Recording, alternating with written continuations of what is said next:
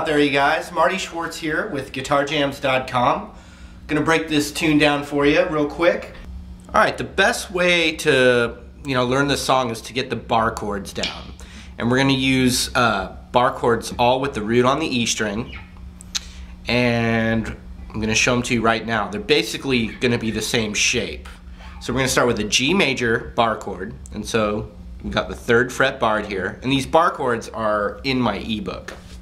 So I'm gonna bar the third fret here, and then when you have the root on the E string, you plug in an E shape, an E looking shape to correspond with the E root. So G on the E string, and then an E major shape gives us a G major chord.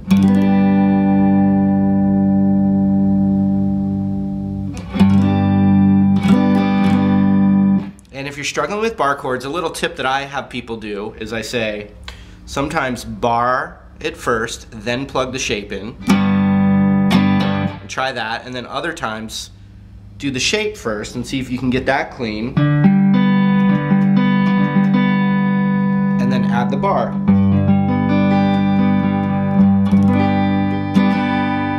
Okay, so now on to the next chord. We just slide it up to where the root now is on the seventh fret. And that's a and that's a B major chord.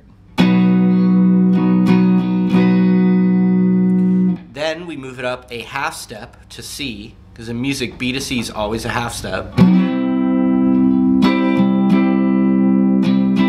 And then that real dark turn that the progression takes, you simply take your middle finger off, and now that looks like an E minor shape, so it becomes a C minor chord. So we went from C major to C minor, and the Beatles uh, kind of made that sound famous. And actually, the last lesson I did did a very, did the same thing, uh, which was more than words. So here we go again. So we got G.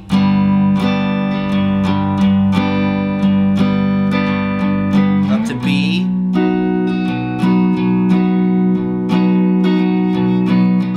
Up to C. And then middle finger off to C minor.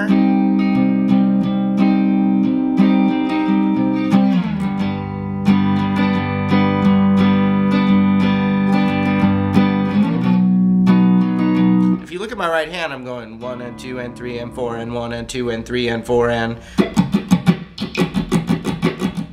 and I'm just you know I didn't break down exactly all the strumming. There's three at least three guitars going on on that song, but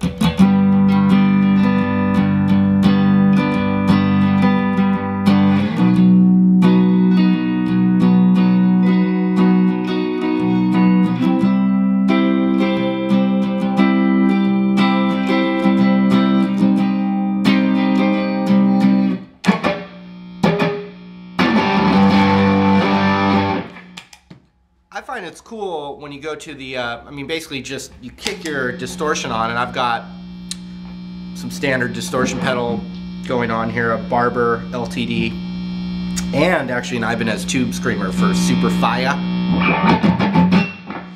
And it gets real noisy with the Telecaster, but um, Greenwood, I believe, uses uh, the, the Fenders a lot. Okay, so basically it's just muted and you go chuck up, chuck up, and that's one of the guitars. The other guitar is still strumming the chords, but. And then going to the rock version of G, an open G chord where you got the third fret there, the A string's muted by your middle finger, and then you've got third on the high E and third on the B.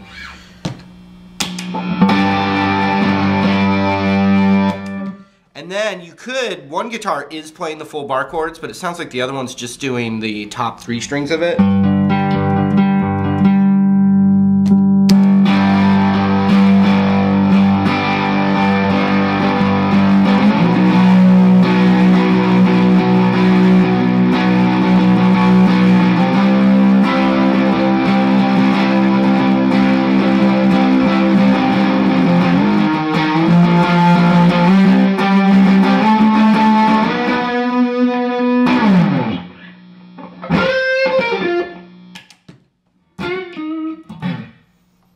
Okay, so next the we can we can pick these chords.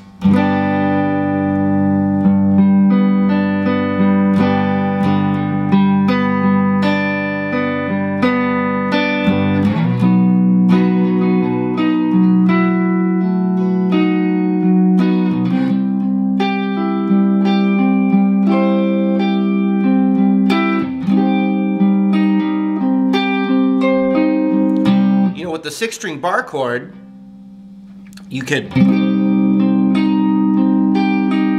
can pick any note. So, you know, like I said, I didn't break down the, the picking pattern, so forgive me, but I mean, I listened to it enough to kind of hear what they're doing. They've got definitely the, the D, G, and B on that first chord.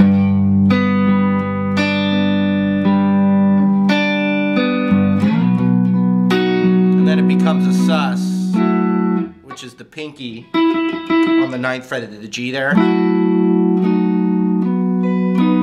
And you could also do it as an F shape with the thumb over.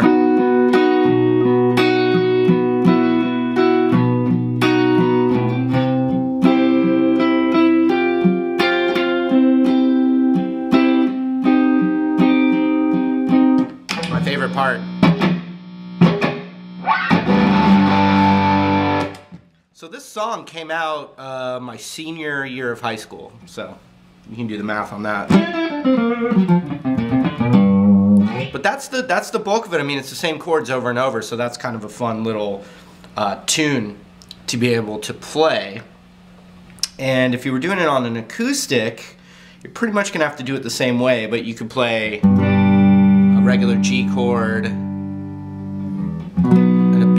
and then you could go to a C and then a C minor right here, but that's actually gonna be more complicated than just working on your bar chords. All right?